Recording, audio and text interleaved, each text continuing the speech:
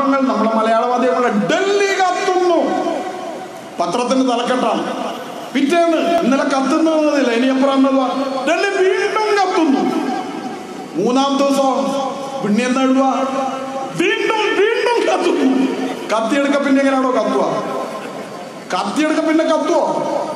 അങ്ങനെ കാത്തിക്കാൻ പരമാവധി ഈ സാധനം പിടിച്ചിട്ടാ ഞാനിപ്പോ നിൽക്കുന്നത്. ഇവിടെ സമരക്കാരിപ്പോ വരും എന്നാണ് മനസ്സിലാക്കുന്നത്. സമരക്കാരത്തിലെ